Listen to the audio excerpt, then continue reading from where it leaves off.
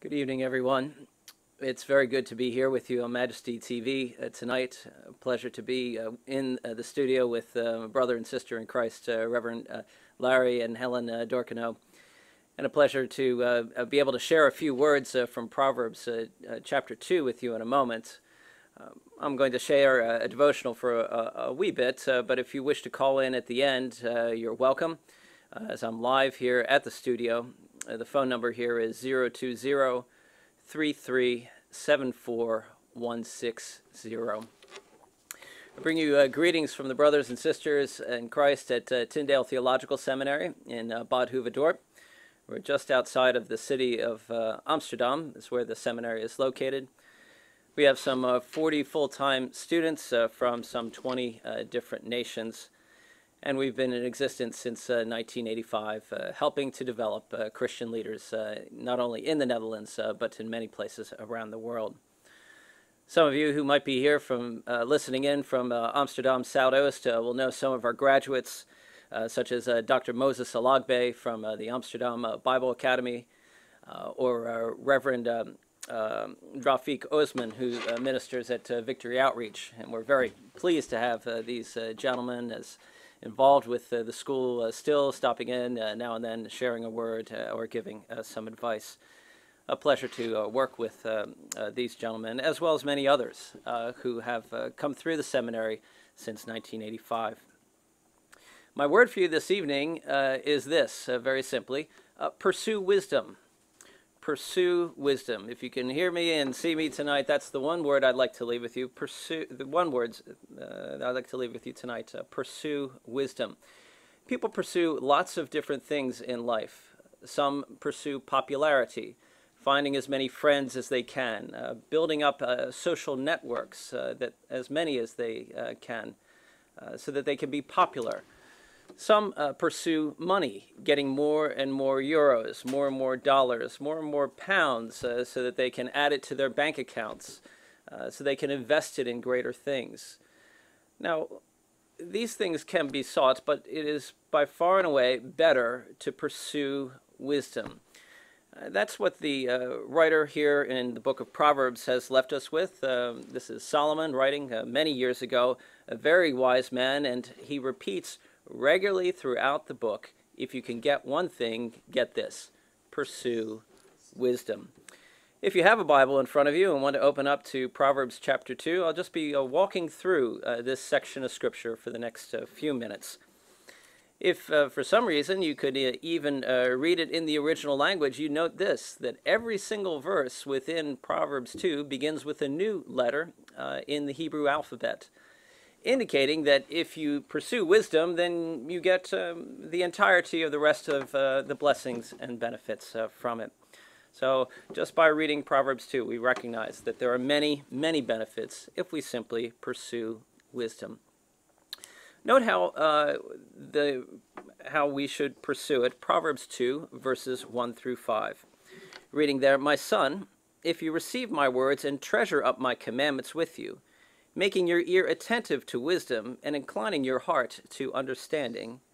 Yes, if you call out for insight and raise your voice for understanding, if you seek it like silver and search for it as for hidden treasures, then you will understand the fear of the Lord and find the knowledge of God. You note how this, the search was to be like seeking it as for silver searching for it as for hidden treasure. That's not a passive uh, search, not letting it come to you. This is actively going out and pursuing it. And indeed, Solomon uh, encourages us to seek wisdom in many other portions in Proverbs, such as Proverbs chapter 4, where he will say, Hear, O sons, a father's instruction, and be attentive that you may gain insight. For I give you good precepts. Do not forsake my teaching. Listening, hearing, treasuring God's word, knowing how to apply it, this is what we ought to pursue. If you were to go to another section of Scripture, you note how very, very valuable it is if you seek a greater understanding of God's Word and how to apply it uh, in your heart. For example, consider Psalm 19, verses 7 through 10. These verses read as follows The law of the Lord is perfect, reviving the soul. The testimony of the Lord is sure, making wise the simple. The precepts of the Lord are right, rejoicing the heart. The commandment of the Lord is pure, enlightening the eyes. The fear of the Lord is clean, enduring forever. The rules of the Lord are true and righteous altogether. More to be desired are they than gold, even much fine gold. Sweeter also than honey and drippings of the honeycomb. I'm sure you're well aware of people who have left their homes in pursuit of gold. You know people who have given up everything, moved house, uh, sold everything they had just to be able to find gold so that they might have this great and uh, valuable commodity. In fact, if you go back through history, you might even know that uh, people left Europe, in fact, went to uh, what was called the Gold Coast of Africa. In the 1500s, they left homes, they left families, and sailed in ships that we wouldn't imagine sailing in at all today. They braved high winds, waves, and then pirates. They settled in areas in the west coast uh, of Africa, and they mined gold in climate that they were not used to. They gave up a lot just to seek gold. What were some of those nations that went to seek that gold? Britain, the Portuguese, the Dutch, the Prussians, the Swedish, and the Danes all left their homes to find gold on the west coast of Africa. And of course, it was a very valuable commodity for them, not only for decoration, but also uh, for monetary investment. Of course, we know this area of Africa today as Ghana, right, where the country of gold is. People have done so many things throughout history just to acquire precious metals. But Proverbs 2 asks us to seek wisdom more than we would seek gold. Psalm, 1, Psalm 19, Proverbs 2, searching for it more than if it were gold or silver or hidden treasure. Going out and actively, aggressively look, looking for it. This is how we should pursue wisdom. Well, you might be saying then, if we're going to be searching for it uh, so greatly and so intently, will we find it? Reasonable question. Many people left home uh, seeking gold and silver and never found it. But what does it say in the Proverbs? If we seek wisdom, what will happen? Proverbs 2, verses 4 and 5 tells us If you seek it like silver and search for it as for hidden treasures, then you will understand the fear of the Lord, and find the knowledge, or in other words, the wisdom of God. For the Lord gives wisdom, Proverbs 2, verse 6. From his mouth come knowledge and understanding. He stores up sound wisdom for the upright. He is a shield to those who walk in integrity, guarding the paths of justice and watching over the ways of his saints. As we seek, so shall we find. God wants to grant us this wisdom. What benefits are there if we grasp a greater understanding of God's Word? If we grasp a greater understanding of how to not only know it in our heads, but in our hearts? Well, certainly one thing will become clear is that uh, unlike the world, we have something that cleanses the heart and cleanses the soul. We have forgiveness because Jesus offered his life for us. And if we seek for God's wisdom, indeed, we will find Jesus and we will find his forgiveness. We will also receive power for living because as we look at the scripture, once again, we know that the scripture enthuses our hearts with wisdom and strength and power for living. We can't find this in our world.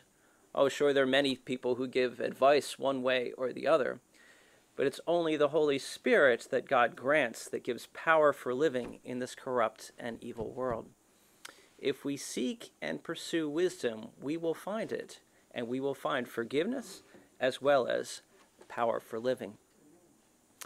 But if we keep reading through the Proverbs, through Proverbs 2, we'll find something uh, else as well. If we pursue wisdom, then there are a lot of byproducts that come with it. Have you ever done this? you've lost something in your house and you're seeking for your keys, or maybe a favorite in our house, um, the remote control to the TV. And you search for it, and perhaps maybe you find it, but you find lots of other things as well, such as maybe oh, a, a, pen that was a favorite of yours, a, a lost game piece uh, that might have fallen behind uh, the couch. If you seek for wisdom, so too will you find many other things beside wisdom. Proverbs 2, verse 5 tells us that if we seek wisdom, not only will we find wisdom, but we'll find the fear of the Lord.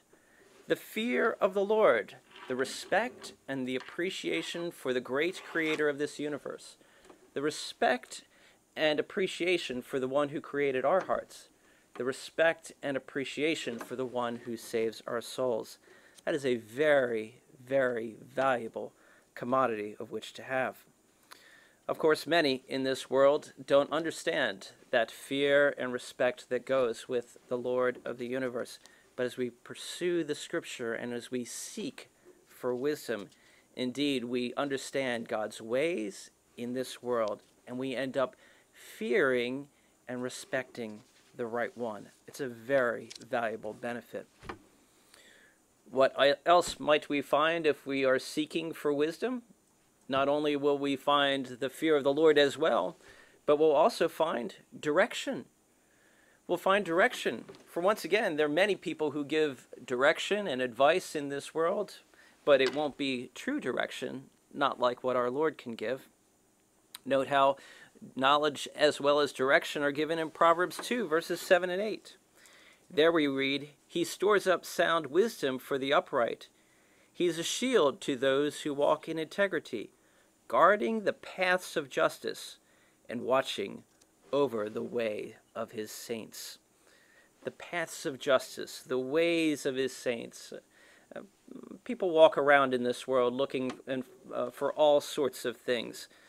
How good it is to know that our Lord can give direction as we pursue wisdom.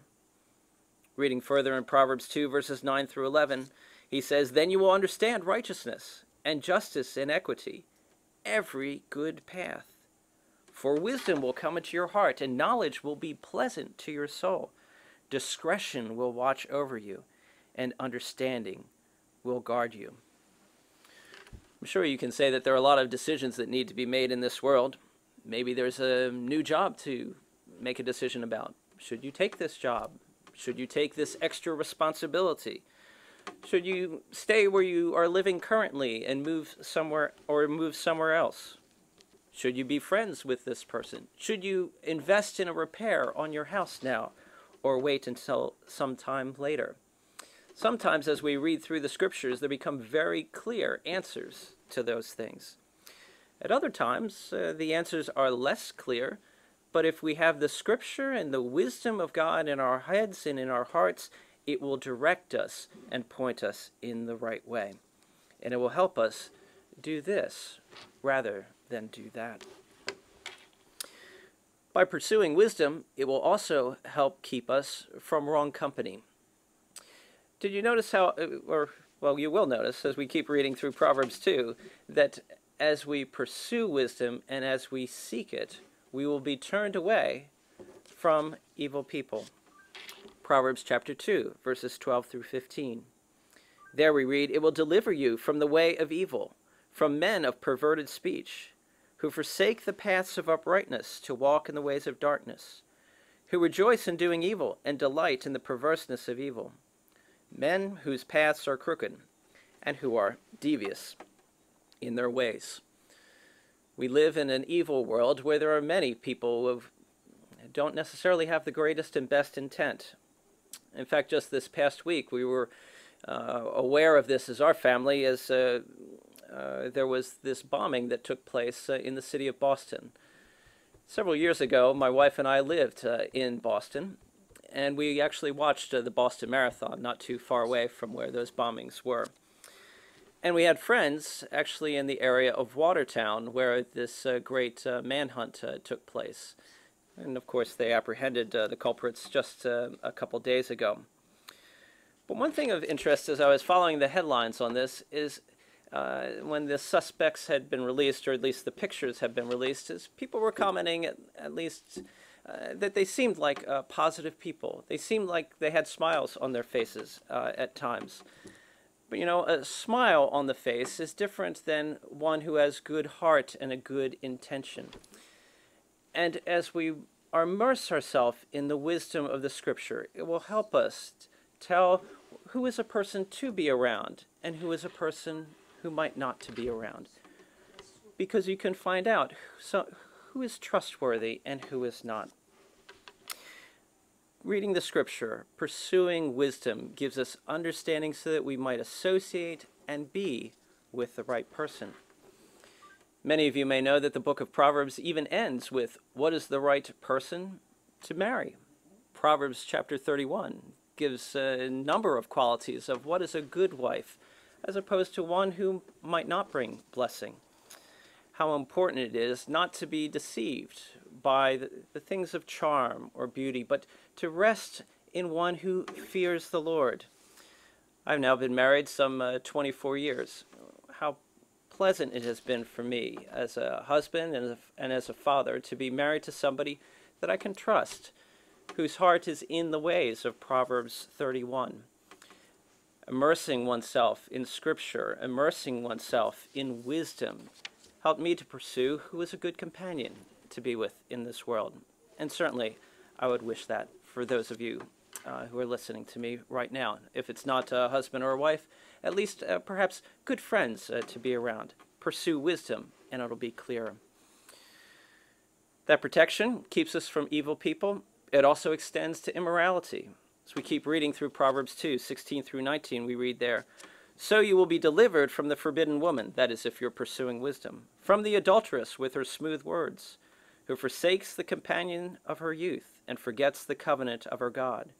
For her house sinks down to death, and her paths to, to the departed. None who go to her come back, nor do they regain the paths of life. Likely don't need to tell you about how immorality is in the rise in, in our world and even here in Amsterdam. But pursuing wisdom helps to evaluate who sh you should be with and who you shouldn't. Don't be deceived by somebody's eyes or their smile. Instead, find truthful companions to be with.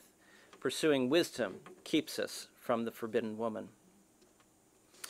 Well, these are some byproducts that come just by pursuing wisdom. But note uh, one final thing that comes as a result of pursuing wisdom too. And here we are at the end of Proverbs 2, verses now reading in verses 20 through 22. So you will walk in the way of the good and keep to the paths of the righteous. For the upright will inha inhabit the land, and those with integrity will remain in it. But the wicked will be cut off from the land, and the treacherous will be rooted out of it. If you pursue godly instruction and study and wisdom, what is the result? You'll be kept to right paths, the paths of righteousness, inheriting, in other words, in finding the right place to dwell, and you'll gain integrity, a soundness of soul that is reliable, a very good and very real byproduct of finding and pursuing wisdom. In other words, you will find life itself if you pursue the study of Scripture and how to apply it in this world. It will be life for you. It's important that we take a moment and just realize uh, the, how the writer of Proverbs uh, was writing this years ago he wasn't writing it in Amsterdam, where we get uh, a lot of uh, rain and water and we have a lot of canals. He's writing in desert climates. And in the desert, it's very vital to have a fountain of life. Wisdom, as Proverbs 2 20 through 22 tells us, is a fountain of life. If you have a fountain of life uh, in the desert, you can build, build a city. You can build a city like those found in the Promised Land. You can build a city like Cairo, which is on the Nile River, which is also a fountain, a stream of life. Cairo has now six million people. It's in the desert, but it's in the desert where there is a source of life, a fountain of life. Where is wisdom to be found in an arid uh, climate? Where is life to be found in an arid climate? It's found with wisdom in God's perspective, listening to His Word, understanding it, poring over it in your head and in your heart, thinking about it. There you will find wisdom, and there you will find life. The word for tonight is very simple pursue wisdom. Pursue it as if it were the greatest value and the greatest commodity of all. Not only will you find it, but there you will receive many other benefits as well the fear of God, direction, protection from evil people, as well as life itself. It's been a pleasure to share with you a few words uh, this evening here on Majesty T- TV certainly want to uh, invite you if uh, you have the opportunity to come visit uh, Tyndale Theological Seminary in Bad. You're welcome to stop in. Welcome to uh, some of the classes that we offer, particularly on Tuesdays and Thursday nights uh, throughout the Uh, spring as well as uh, in the fall, as well as uh, some Saturday seminars that we offer as well. We hope that that would be an encouragement for your pursuit of wisdom. But even if we don't see you at Tyndale, I hope that you too will find wisdom and will fi- find the fear of God and the blessing that comes from His Word and life itself. May God bless you always.